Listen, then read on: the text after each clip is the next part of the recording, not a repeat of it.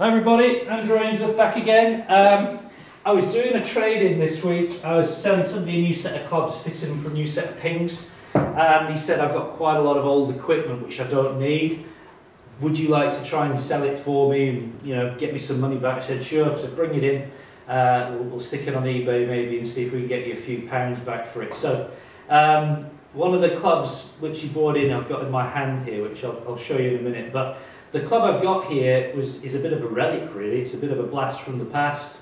Um, it was used very much by golfers back in the 70s, very much the 80s, uh, more 80s really, this was very much out of the 80s, and maybe into the early 90s. So this was pre-hybrid rescue, before we had the rescue clubs which arrived on the scene whenever they did now, uh, a long time ago, we were using one and two irons. That's what we had. And you know, all the major brands made a one and a two iron. And one of the biggest selling one irons and two irons were made by Ping.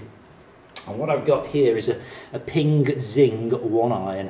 Um, I haven't seen one of these in many years. When I first started in, in golf, we used to sell loads of these Ping i2 one irons and two irons. We had a bag full of them. You know, golfers would come in, I want a one iron. And um, looking back, they were pretty difficult clubs to hit, but, but not impossible. I might prove that theory wrong in a minute. So the spec on this club, had a little look back on the internet, 15 and a half degrees of loft on this one iron, and it's just shy of 40 inches long. It's 39 and three quarter inches long to be precise.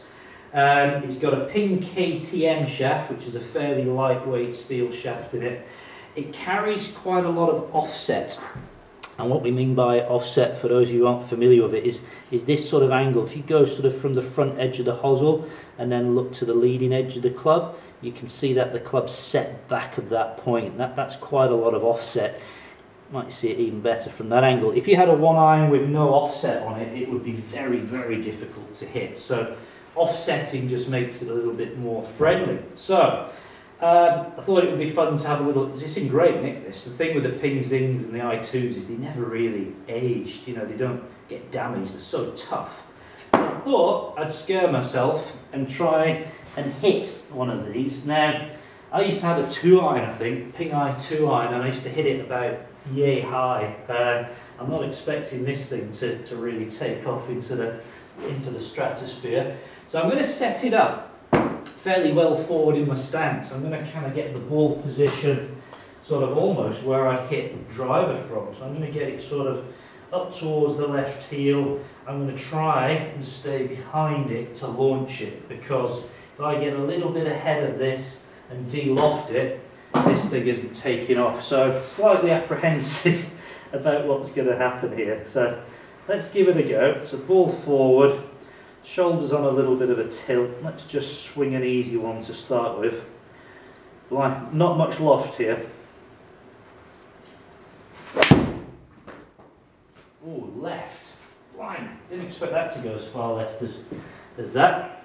Okay. Big. Give me a hybrid. Big turnover, pulley, draw, horrible. I'm going to start this one a little bit more at the right. Come on. That's better. Okay, there's a strike. That's gone. That felt really good, actually. Goodness, that's gone a bit, hasn't it? That's rolled out to 242. It's pitched at 216. Hit that pretty well, actually. Let's have a look at the numbers on that one, shall we?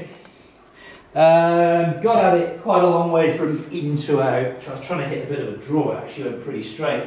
Got 98 miles an hour club speed, 216 carry, so a 10 degree launch, low, but ran out to 242. 2.7 total backspin. You imagine this club on a, a links course in, in the UK or some of the links style courses in America, or just in a windy day. Fairways hard, wind blowing, you want to keep the ball down, tight fairways. You know, one iron could still work. Will one irons ever come back? I very much doubt it. I know that tour players sometimes put in a maybe a two iron into their bags when they're playing British Open and, and other windy courses, but I, I think you know this club is resigned to the museum. I think hybrids, 16 degree hybrids, rescue clubs with a graphite shaft in there, certainly much easier to hit. But it's been fun hitting it. It's been fun seeing the old fella come back uh, to hit another shot. Um, I don't know if anyone will buy this, but we'll, we'll try. You never know. You can sell anything on eBay, can't you? Uh, within reason. So there it is, the Ping Zing one iron. Um, enjoyed hitting it. Would I put one in the bow? I don't, don't think so. But um, with a decent swing on it, it's it works, you know, as the numbers there prove. So Bit of fun, bit of a blast from the past.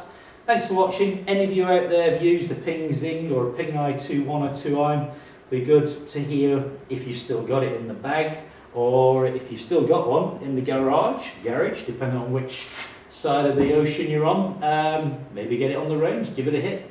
Thanks for watching, all the best.